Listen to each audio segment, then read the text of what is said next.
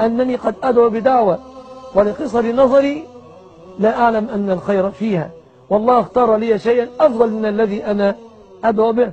فقد تقول أنت قد تقول أنت في نفسك يا رب زوجني فلانة وعقلك سيذهب إذا لم تتزوجها.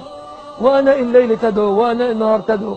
وربي علم أنك إذا تزوجتها قد تكون حقيما قد, تكون قد تخونك في الفراش قد تفتنك قد تسبب لك قطع أرحامك فيختار الله لك أفضل مما تختاره أنت لنفسك.